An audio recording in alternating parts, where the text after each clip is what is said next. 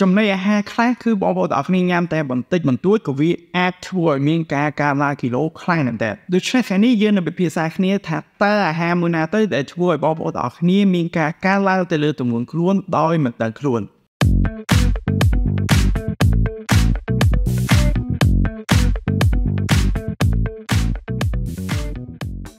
ជំរាបសួរបងប្អូនទាំងអស់គ្នាថ្ងៃនេះយើងនឹងពិភាក្សាគ្នាអំពីរបបអាហារបើសិនជាបងប្អូនទាំងអស់គ្នាចូលចិត្តទៅលើ content របស់ខ្ញុំសូមមេត្តាជួយចុច like subscribe ហើយ comment ខាងក្រោមទៅលើសំណួរដែលបងប្អូនទាំងអស់គ្នាចង់សួរអញ្ចឹងនៅក្នុងការអនុវត្តប្រចាំថ្ងៃរបស់ខ្ញុំគឺមានអ្នកជំងឺជាច្រើនដែលគាត់ឧស្សាហ៍សួរដែរគាត់ច្រើនទៅសួរថាលោកអូខ្ញុំញ៉ាំទៅដូចជាតមដែរបរិមាណចំណីអាហារខ្ញុំញ៉ាំដូចជាមិនសូវច្រើនទេហេតុអ្វីបើទម្ងន់របស់ខ្ញុំមិនមានការស្រកសោះអញ្ចឹង ហើយទោះបីជាបរិមាណចំណីអាហារវាមានសារៈសំខាន់ក្នុងការកំណត់ទៅលើទម្ងន់ខ្លួនរបស់យើងក៏មិនមែនមានន័យថាយើងអាចញ៉ាំអ្វីទៅពីទៅពីតាមតែអំពើចិត្តបាននោះទេមានន័យថាគុណភាពនៃចំណីអាហារក៏សំខាន់ដែរចំណីអាហារខ្លះទោះបីជាបងប្អូនអ្នកនេះញ៉ាំរៀងច្រើនក៏វាអត់សូវមានការប៉ះពាល់សុខភាពក៏ប៉ុន្តែវាមានចំណីអាហារខ្លះបងប្អូនអ្នកនេះញ៉ាំតែបន្តិចបន្តួចក៏ប៉ុន្តែពេលខ្លះវាអាចជំរុញឲ្យមានការកើនឡើងគីឡូខ្លាំងវាមានការជំរុញធ្វើឲ្យមានជំងឺផ្សេងផ្សេងមកជាមួយថែមទៀតដូច្នេះចំណេះដឹងក្នុងការជ្រើសរើសចំណីអាហារណាដែលល្អមិនល្អយកមកញ៉ាំជាប្រចាំគឺជាអ្វីមួយដែលមានសារៈសំខាន់មែនទែនជាចំណីអាហារប្រភេទទី1ដែលធ្វើឲ្យបងប្អូនទាំងអស់គ្នាងាយនឹងមានការកើនឡើងទៅលើទម្ងន់មែនទែនគឺ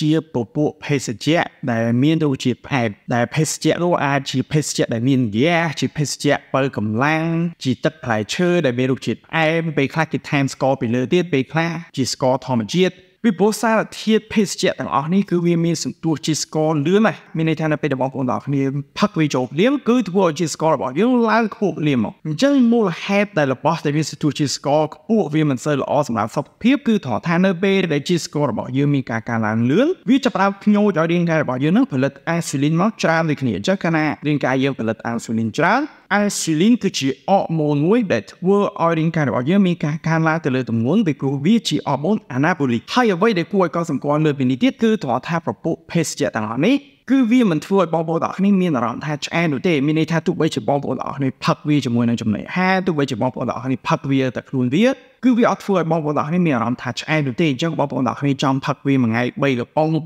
ប៉ុង5កំប៉ុងក៏បងប្អូនទាំងអស់គ្នាអត់មានអារម្មណ៍ថាឆ្អែតបងប្អូនទាំងអស់គ្នាអត់មានអារម្មណ៍ទលាន់ជាមួយវាទេបើអ្នកខ្លះវិញគឺគាត់ផឹកយូរៗទៅទៅជាញៀនវិញអត់បានផឹកវិញទៅជាអត់ស្រួលក្នុងខ្លួនវិញអញ្ចឹងអាហ្នឹងហើយគឺជាទម្រង់នៃចំណីអាហារមួយដែលបងប្អូនទាំងអស់គ្នាគួរតែកាត់បន្ថយឬមួយក៏បើសិនជាអាចជៀសបានគឺយើងជៀសយកតែម្ដងទៅពីព្រោះវាធ្វើឲ្យមានការកើនឡើងគីឡូហើយវាអត់មានសារធាតុចិញ្ចឹមហើយវាអាចធ្វើឲ្យបងប្អូនទាំងអស់គ្នាមានការប្រឈមទៅនឹងជំងឺផ្សេងៗនៅថ្ងៃមុខផងដែររីឯប្រភេទចំណីអាហារទី2ដែលអាចមិនសូវល្អដែលធ្វើឲ្យបងប្អូនទាំងនេះងាយនឹងមានការកើនឡើងទៅលើទម្ងន់ដែរនោះគឺគេហៅវាថាជាទម្រង់ processed food បើសិនជាបងប្អូនទាំងបានមើលទៅលើវីដេអូដែលខ្ញុំបាននិយាយអំពីរបបអាហារ Mediterranean ខ្ញុំក៏បាននិយាយអំពី processed food នេះហើយមែនតើ processed food គឺជាចំណីអាហារដែលគេយកទៅកែប្រែគេយកទៅបន្ថែមសារធាតុធ្វើម៉េចឲ្យចំណីអាហារហ្នឹងទុកបានយូរឬមួយក៏ក្នុងករណីខ្លះធ្វើឲ្យចំណីអាហារហ្នឹងវាមានរសជាតិឆ្ងាញ់ជាងមុនអញ្ចឹង processed food ហ្នឹងគឺមានប្រភេទរបស់វាអាស្រ័យថាតើការកែច្នៃរបស់យើងទៅលើចំណីអាហារហ្នឹងគឺវាកម្រិតប៉ុណ្ណាដែលប្រភេទទី1នៃ processed food ហ្នឹងគឺគេហៅវាថាជា minimally processed food មានន័យថាគេគ្រាន់តែយកចំណីអាហារហ្នឹងយើងយកសម្អាតវាហើយយើងយកទៅទុកខ្លះសេនៅក្នុងទូទឹកកកដើម្បីកុំឲ្យវាឆាប់ខូចពេកអាហ្នឹងក៏គេហៅវាថាជាទម្រង់ processed food ដែរប៉ុន្តែវាមិនសូវមានការប៉ះពាល់ដល់សុខភាពទេ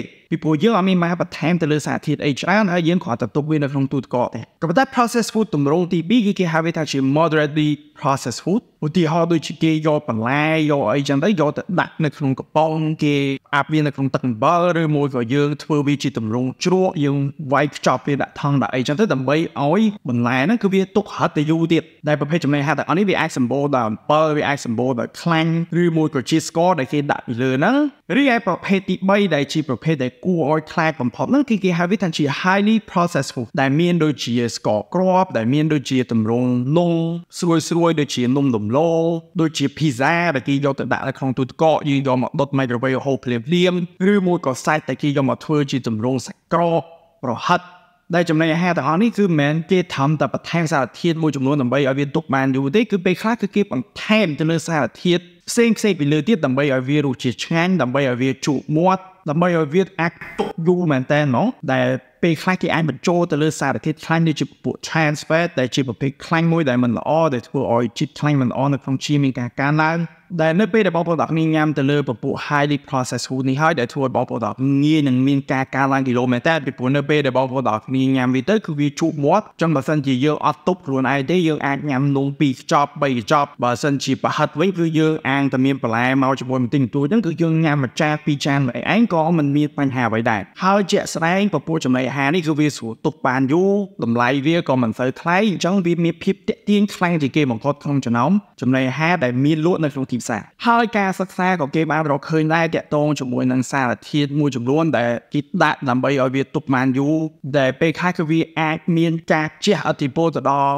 សុខភាពយើងនៅក្នុងរយៈពេលយូរអង្វែងមានតែ5ឆ្នាំ10ឆ្នាំបើសិនជាយើងញ៉ាំវារាល់ថ្ងៃទេគឺវាអាចមានការជាប់ពាក់ព័ន្ធជាមួយនឹងការកើនឡើងទៅលើភាគរយនៃជំងឺរ៉ាំរ៉ៃមួយចំនួនដូចជាជំងឺ metabolic ជំងឺមហារីកជំងឺដែលប៉ះទៅលើខួរក្បាលអីហ្នឹងគឺសិតតែមានផលប៉ះពាល់ទាំងអស់ ដូច្នេះសម្រាប់ពពួក highly processed food គឺបងប្អូនទាំងគ្នាត្រូវមានការប្រុងប្រយ័ត្នមែនទែនហើយបើសិនជាយើងអាចជីកបានយើងគួរតែជីកវាទៅរីឯប្រភេទចំណីអាហារទី3ដែលធ្វើឲ្យយើងមានការកើនឡើងគីឡូដោយមិនដឹងខ្លួនដែរគឺជាពពួក refined grains ពាក្យថា grains យើងអត់ដឹងថាគួរថាបកមិនទៅឲ្យវាចំហ្មងទេប៉ុន្តែយើងអាចនិយាយថាវាជាទម្រង់នៃគ្រាប់ធញ្ញជាតិដែលវាមានទម្រង់ដូចជាអង្គគេយកមកធ្វើជានំប៉័ងដែលជាទូទៅទម្រង់ grains ហ្នឹងភាសាអង់គ្លេសគេបែងចែកជាពីរគេបែងចែកជា whole grain ជាមួយនឹង refined grains ពពួក whole grain មានន័យថាគ្រាប់ធញ្ញជាតិហ្នឹងគឺគេអត់ដកសម្បកវាចេញទេគឺគេទុកតែសម្បកគេទុកទាំងសារធាតុចិញ្ចឹម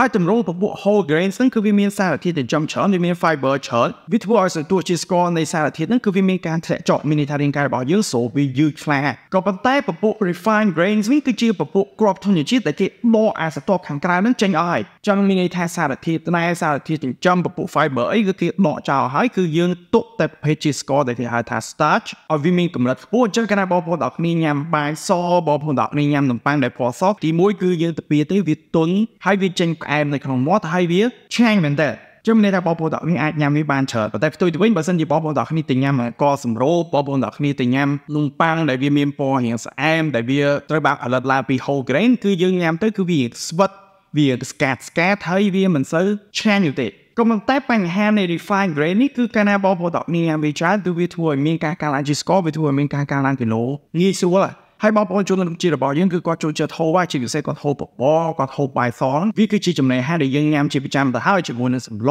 ជាមួយនឹងរបស់ឆាដែលយើងញ៉ាំប្រចាំថ្ងៃហើយសម្រាប់អ្នកជំងឺខ្លះដែលខ្ញុំធ្លាប់ជួបនៅប្រទេសកម្ពុជាយើងអ្នកខ្លះគឺគាត់អត់ដឹងគាត់មកប្រាប់ខ្ញុំទៀតថាគេប្រាប់គាត់ថាញ៉ាំសឡតិចទៅបានហើយកាលណាយើងញ៉ាំបាយគឺវាអត់ឡើងគីឡូទេយើងចង់ញ៉ាំប្រមាណក៏ញ៉ាំទៅអញ្ចឹងអ្នកខ្លះគាត់ញ៉ាំបាយជាមួយនឹងត្រីលាជាមួយនឹងអីហ្នឹងក៏គាត់អាចហ៊ានញ៉ាំបាយពី3ចានដែរដែលអាពពួកបាយសពួកអីនោះតែយើងញ៉ាំច្រើនពេកពេលខ្លះគឺវាភ្លេចរួចធ្វើឲ្យមានការខាងឡើងជាស្ករធ្វើឲ្យមានការកើនឡើងគីឡូផងដែរអញ្ចឹងគឺយើងត្រូវញ៉ាំវានៅក្នុងកម្រិតមួយមកជួងបាទហើយហើយយើងត្រូវជំនួសវាវិញដោយបន្លែដែរដែលខ្ញុំនឹងពិភាក្សានៅក្នុងវីដេអូបន្តរីឯកូនចំណីអាហារទី4ដែលធ្វើឲ្យបងប្អូនទាំងគ្នាងាយនឹងមានការកើនឡើងគីឡូទោះបីបងប្អូនទាំងគ្នាញ៉ាំវាបន្តិចបន្តួចទៅហើយគឺជាទម្រង់ចំណីអាហារបំពងដែលរបស់ទាំងអស់នេះគឺបងប្អូនទាំងគ្នាអាចឃើញភាគច្រើនជាទម្រង់ fast food ជាមាន់បំពងស្លាបមាន់បំពងប្រហិតយកទៅបំពង ហើយបើនៅខ្មែរយើងគឺអ្នកខ្លះគឺគាត់យកទៅចៀនគាត់យកទៅបំពងហ្នឹងជាមួយនឹងខ្លាញ់ជ្រូកម្ដងទៀតដែលសម្បូរមែនទែនដោយ saturated fat ដែលនៅពេលដែលបងប្អូនទាំងគ្នាឧស្សាហ៍ញ៉ាំទៅលើពពួកចំណីអាហារនេះរឿយរឿយម្ដងហើយម្ដងទៀតបើទោះបីជាពេលខ្លះគីឡូរបស់បងប្អូនទាំងគ្នានៅថេក៏បងប្អូនទាំងគ្នាទៅបងឈាមជាមួយនឹងម្ចាស់អណ្ដិតទៅអាចឃើញថាចុះមិនខ្លាញ់ខ្ញុំលើអញ្ចឹងគីឡូខ្ញុំល្អធម្មតាសោះអាហ្នឹងគឺសិតតែមានការជាប់ពាក់ព័ន្ធជាមួយនឹងចំណីអាហាររបស់បងប្អូនទាំងគ្នាញ៉ាំជាប្រចាំថ្ងៃអូខេចេះស្រកសេចក្តីមកវិញចំណីអាហារដូចជាពពួក highly processed food ភេសជ្ជៈដែលមានរសជាតិផ្អែមចំណីអាហារដែលគេយកបំពងបំពួក refined grains ដូចជានំប៉័ងបបសដូចជាបាយសគឺជាចំណីអាហារមួយចំនួនដែលបងប្អូនទាំងគ្នាញ៉ាំជាប្រចាំហើយវាអាចធ្វើឲ្យមានការកើនឡើងគីឡូដោយមិនដឹងខ្លួនទោះបីជាបងប្អូនទាំងគ្នាគិតថាការញ៉ាំនឹងនៅក្នុងកម្រិតតិចតួចឬមួយក៏មធ្យមតែប៉ុណ្ណោះ ក៏ប៉ុន្តែវាមិនមែនមានន័យថាខ្ញុំហាមឲ្យបងប្អូនទាំងគ្នាមិនឲ្យញ៉ាំវាទាំងស្រុងនោះទេគ្រាន់តែថាបងប្អូនទាំងគ្នាត្រូវមានការត្រេះរិះពិចារណាខ្លួនឯងត្រូវដឹងថាអូខេរបស់ទាំងអស់នេះគឺយើងត្រូវញ៉ាំវានៅក្នុងកម្រិតមួយដែលតិចតួចបានហើយហើយយើងគួរតែជំនួសវាវិញដោយចំណីអាហារផ្សេងដែលមានអត្ថប្រយោជន៍សម្រាប់សុខភាពជាងនោះដែលមានសារធាតុចិញ្ចឹមសារធាតុបំពន់ល្អជាងនោះដោយមិនមានការប៉ះពាល់ដល់សុខភាពអូខេអញ្ចឹងវីដេអូរបស់ខ្ញុំសូមចប់តែប៉ុណ្នេះបើសិនជាបងប្អូនទាំងគ្នាមានសំណួរអ្វីបងប្អូនទាំងគ្នាអាច comment សួរខ្ញុំបានជួបគ្នានៅវីដេអូក្រោយ ជម្រាបលា